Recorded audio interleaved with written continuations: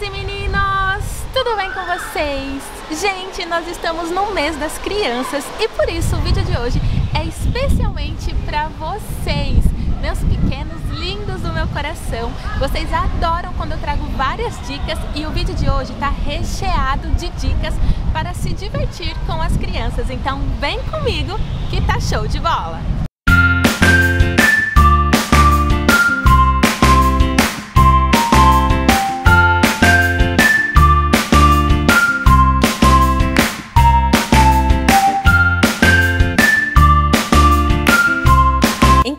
Começar que eu estou super animada para mostrar todas as dicas para vocês. Gente, as meninas adoram fazer penteados no cabelo. E quanto mais diferente e fofinho, melhor. Hoje eu decidi fazer dois coques, um de cada lado. Eu acho esse penteado super criativo e fofo, além de ser rápido e fácil de fazer. Eu dividi meu cabelo em duas partes. Aí eu usei alguns grampinhos para me ajudar a prender o cabelo. Fiz um coque de um lado.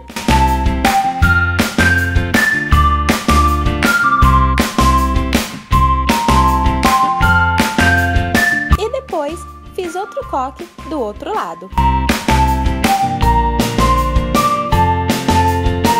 E ficou assim. Gente, eu adoro esse penteado, fica muito divertido e é muito fofo. Tenho certeza que vocês também vão gostar e é muito fácil de fazer. Se tem uma coisa que criança adora é brincar com tinta. Na verdade, não é só criança não, porque eu amo brincar com tinta.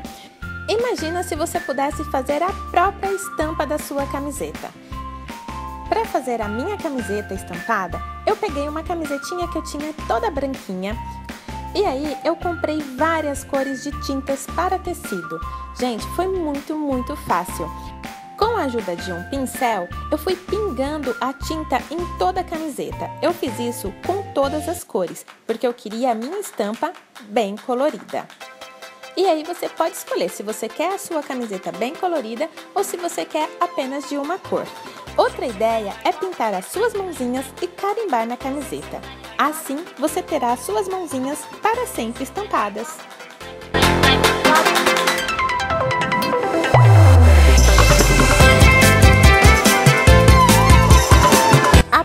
Dica é muito fofa.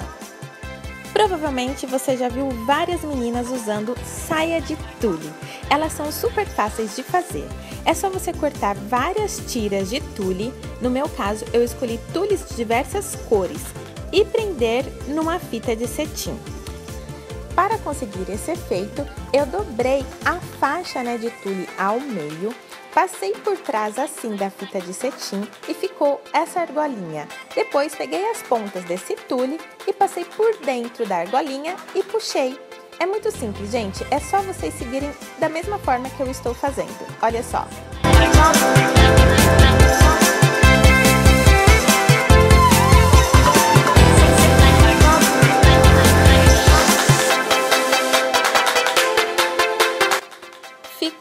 fofura. Mas para deixar essa saia ainda mais linda e super diferente, eu colei alguns marshmallow na saia. Gente, ficou simplesmente maravilhosa. Eu adorei. De verdade, eu estou apaixonada. E essa saia você pode usar em uma festa fantasia ou apenas para brincar com seus amiguinhos. Hum, essa pipoca tá muito gostosa. Eu amo pipoca, gente, mas quem é que não gosta, né? Essa dica é para quem gosta de pipoca colorida, mas não tem pipoqueira em casa, assim como eu. Para deixar ela bem colorida, eu estourei só a pipoca com óleo normal. Depois, comecei a fazer a calda. Coloquei uma xícara de açúcar, um dedinho de água e misturei bem até ferver. Depois, coloquei o corante.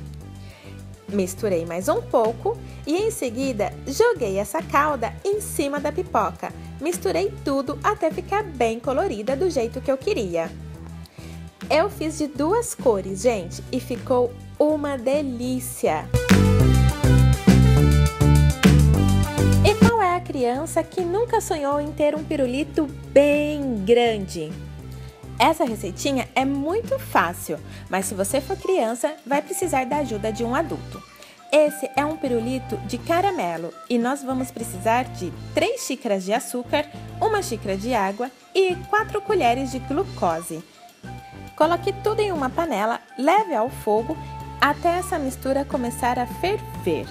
Gente, quando ela começar a escurecer, acrescente o corante da cor que preferir. Eu escolhi a cor vermelha. Em seguida, coloque em um refratário de silicone untado com manteiga. Agora é só esperar esfriar.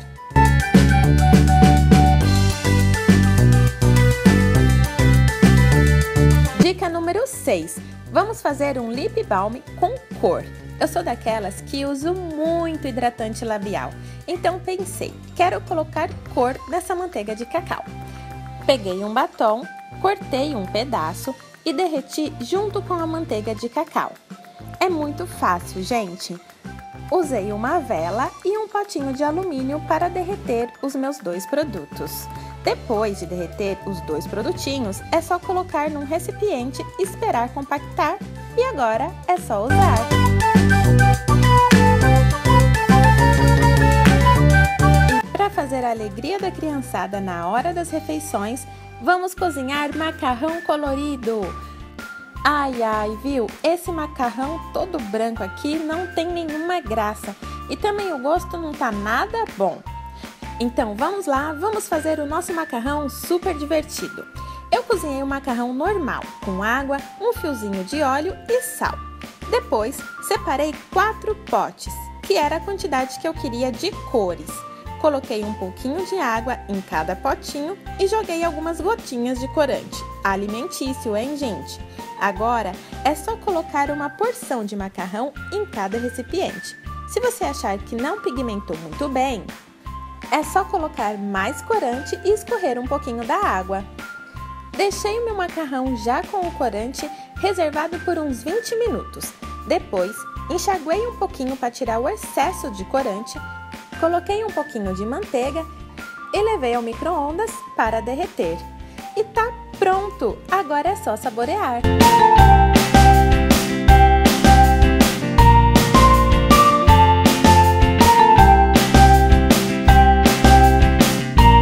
E é claro que não podia faltar um milkshake de unicórnio. Olha que coisa mais linda esse milkshake, gente!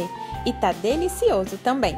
Para o milkshake, vamos precisar de sorvete de creme, leite, chantilly e corantes alimentícios, nas cores azul e rosa. Aí você vai bater até ficar tudo bem misturado. Coloquei essa primeira parte em uma taça e fiz o mesmo com a cor rosa. Depois de pronto, joguei essa mistura rosa por cima do sorvete azul e dei uma leve mexidinha para as duas cores se misturarem.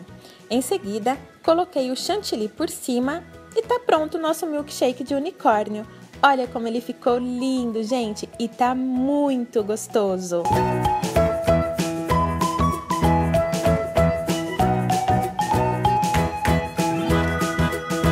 deixar o meu dia e as brincadeiras mais divertidas e engraçadas, decidi passar um batom diferente. Pintei um cupcake nos meus lábios e para fazer esse cupcake nos lábios, usei várias cores de batons e um lápis branco. No lábio inferior, usei um batom líquido mate na cor pink. Depois disso, apliquei o lápis branco no lábio superior. Depois disso, peguei um batom também líquido mate nude e fiz alguns traços na parte pink, né, por cima do batom pink. E no lábio, com a cor branca, fiz algumas bolinhas com as outras cores de batom. Achei que ficou super divertido. E esse é o resultado final. O que vocês acharam?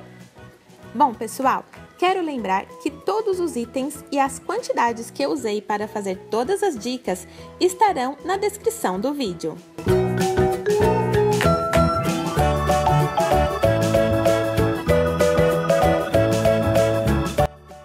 Espero muito, muito, muito que vocês tenham se divertido com o vídeo de hoje. Eu adorei fazer, fiz com muito carinho e me diverti muito, como vocês perceberam. Se vocês gostaram desse vídeo, não se esqueçam de clicar bastante em gostei, se inscreva no canal e me deixa aqui nos comentários qual foi a dica